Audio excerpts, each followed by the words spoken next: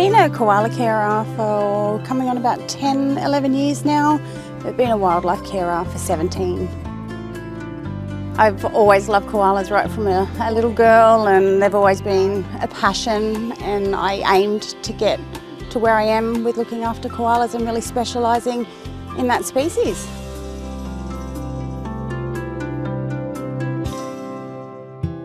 In the mornings I get up and just do a visual on everybody.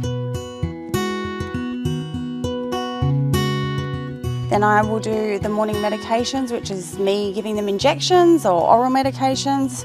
I'm actually a vet nurse as well, so that helps. And then I'll give morning feeds if anyone's on morning feeds.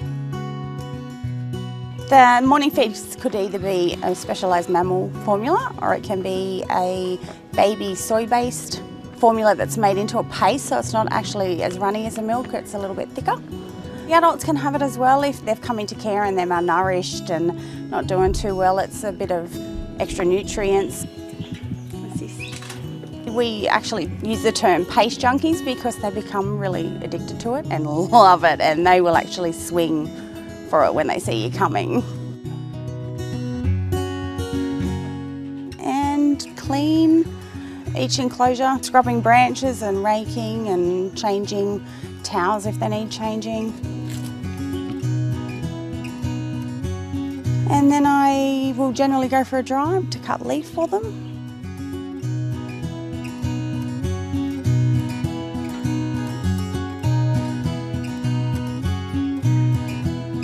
So then I'll come back and give everybody their fresh leaf for the day and normally that takes place in the early afternoon. And then I'll start the afternoon feeds, afternoon medications. Big vicious circle.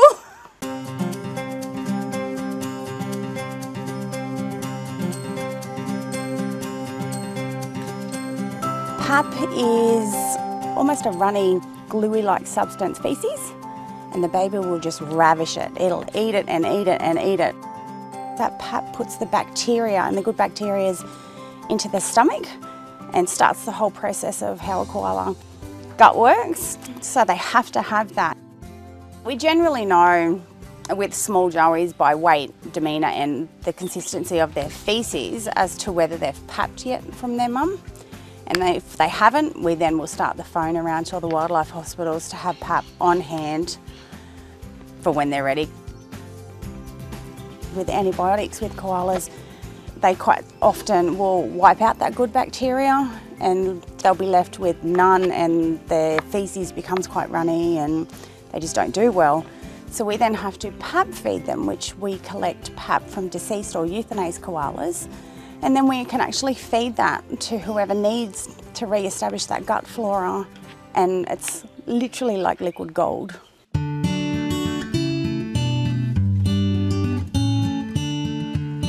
The enclosures they're housed in, luckily enough, I have been given grants for the enclosures. They're invaluable. I couldn't do what I do without them.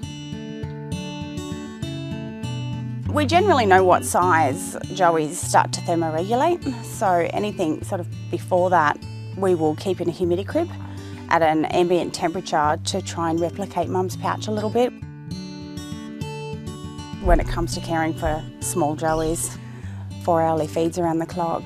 Lots of patience, there's lots of washing, there's lots of sterilising because everything has to be super, super sterile with them. The smaller they come in, obviously, the longer they're in care, but I think the longest time I've had one in care for is 18 months. And he became quite part of the family because he was not releasable. Yeah, I lost a little boy that I've had in care for quite some months now. He came in as a small joey. He was never quite right and they couldn't pinpoint what was actually wrong with him. He crashed on me the other night so I had to rush him out to the RSPCA.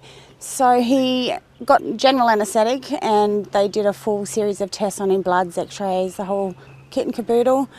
And he actually died on the table and they revived him and brought him back and kept him there to keep an eye on him overnight, but he just didn't pick up and the decision was made. He didn't have quality of life.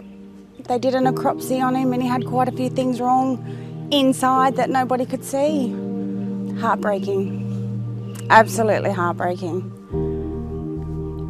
you've got to be able to bounce back, you've got to be able to pick yourself up and, and keep going because you've generally got more in care. And there is quite often that special one that you have, and they're the ones that really hurt. Yeah. Just if people see a koala on the ground, if it's sitting on the ground, it's not a good thing. They're not, they don't sit on the ground for, for no reason. If it's just crossing the ground to go up another tree, that's okay. But to keep an eye on their eyes, if they've got yucky eyes or if they've got a wet bottom, phone somebody. Just get in contact with a, a local wildlife group, the RSPCA, whoever, and report it. If we can get the animal sooner rather than later, we can actually treat it. But if left too long, it's not a good outcome.